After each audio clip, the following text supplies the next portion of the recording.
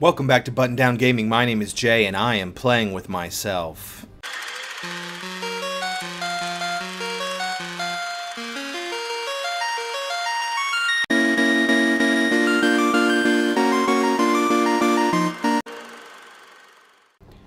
Alright, uh, so I went ahead and bought a shield because it was about the only thing I could afford. And now we're headed off. uh, Whoa, dude's name is the Genocide. This burly armor clad figure stands almost motionless as you approach. He regards you silently through his singular eye. The studs on his arms and the blades on his shoulders are stained and pitted with age. When he speaks, his voice is muffled and artificial, a hollow grumble that emanates from the entirety of the helmet.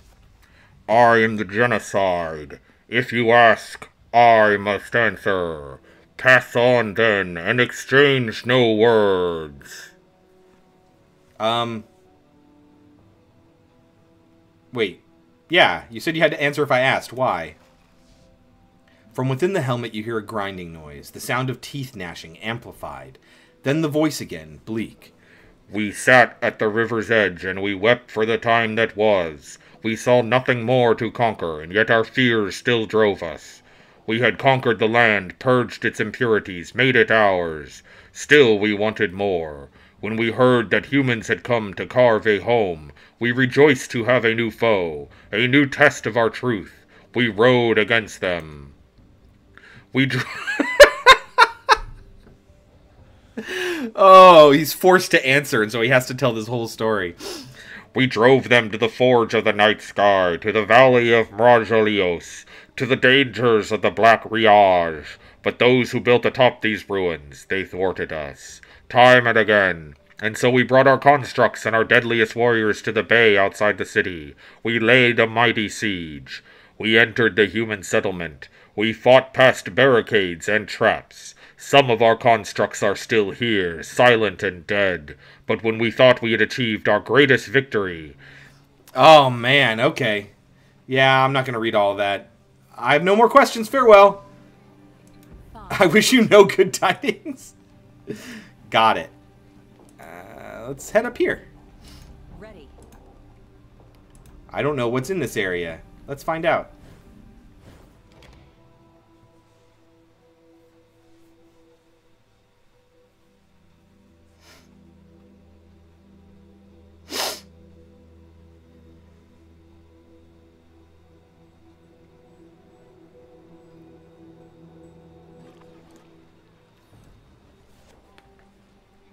Glaive? Mercenary, mercenary. What's up? Is your name Glaive or are you a Glaive? Okay.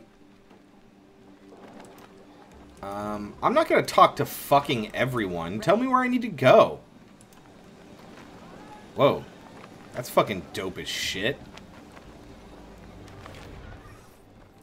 This fountain is constructed of a material that seems halfway between wood and stone. It doesn't contain water, as might be expected. Instead, it's filled with swarming, tiny fish-like creatures that leap and cavort in a wriggling mass, chattering to each other in what sounds like a thousand different tongues. Catch one of them! Oh man, I can only do 75%. Let's do it! Yes! A jolly. You deftly snatch a single fish from the glistening, tumbling flood. The bubbling mass of remaining creatures squawk together in nonsensical outrage. Uh, listen to what they're saying. You fold your arms, listening intently to the fish jabber at each other. It sounds like a cloud of nonsense syllables mashed into baby speak. A few often repeated sounds tug at your attention. This is no string of gibberish after all. They are speaking a variety of language, but ones you've never heard before. Examine the woodstone fountain. Uh, it's all blah blah blah blah blah. I'm gonna see if they do anything. And eventually, maybe I can learn a language. No?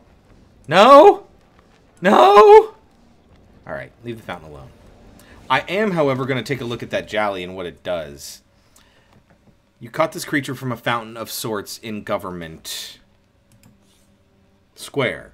Small, fish-like, and constantly squirming, it never requires food or other nourishment, and it gibbers constantly in an indecipherable language. Close. Alrighty then. Oh, council clerk. Okay.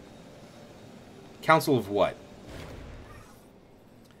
Behind a lectern, a four-eyed, hairless mutant pr processes paper with a balletic grace.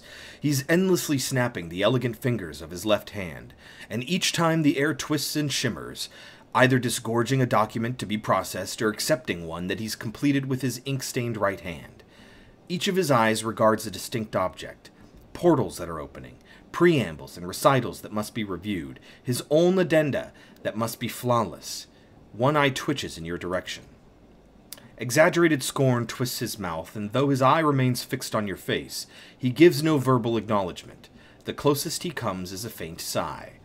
At last, after shunting a half dozen more documents to some distant cubby, he condescends to speak. You must wait, of course, until council matters conclude. His quarter gaze leaves you. His face returns to its former equanimity, and he continues his work, which shows no evidence of slacking, let alone concluding. I assure you that my matters are important enough to be worth a moment.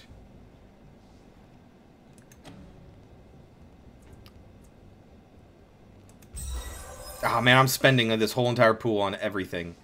Yes! The clerk conveys his personal regard for the importance of your matters with a long, loud sigh, but he focuses one of his eyes on you and replies, Very well, very well. Let us weigh the worth of your needs, shall we? What is it you want? I like to talk about paperwork. A faint sigh is the only acknowledgement you receive. What are you doing with all these papers? The clerk shakes his head at your ignorance. I am taking them from where they were to where they must be by bending the space between them. And as they pass across my lectern, I assure that they are properly prepared. To the body politic I serve as heart, kidney, and nervous system all in one. He snaps his fingers, opening a portal and flicking a scroll th through it. Before I undertook this role, the council employed layers and layers of legothates, scriveners, registrars, and couriers, each corruptible, vulnerable, insular. The Memovira's tendrils grew through the cracks in that teetering edifice. He stares at you with two bright eyes. But now there is only myself. Had I not come to this office, I wonder who would rule the city. Who is the Memovira? The clerk scowls without looking up. Some builders raise monuments of marble, others tear the monuments down, cook the marble to lime, mix the lime into concrete, and use the concrete to make hardened bunkers. He shakes his head. Organizations can be made the same way, and people. The Memovira has demolished many things, and from the rubble has built an impenetrable organization of hardened souls. You would be wise to keep your distance. An eye glances your way. But you don't look wise. Where can I find the Memovira? The clerk clutches quietly while filling out a form. Chuckles quietly while filling out a form. The bloom! A moment later, he adds, Sometimes, it seems, one can indeed judge a book by its cover. Nice. Uh, I'd like to ask you some general questions. Uh, I don't want any of these stories. Alright, bye. The clerk gives no acknowledgement that he heard and merely continues with his work. Let's go. Can I go in?